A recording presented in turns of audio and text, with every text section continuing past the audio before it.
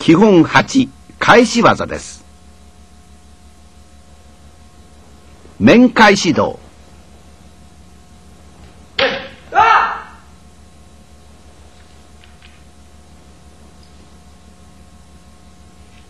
一足一刀の間合いから元立ちが面を打ってくるのをかかり手は木刀の表しのぎで迎えるように応じ手を返して右胴を刃筋正しく打ちます。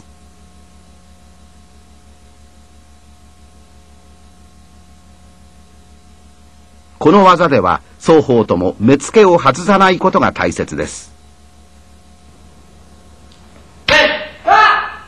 胴は刃筋正しく打ちます。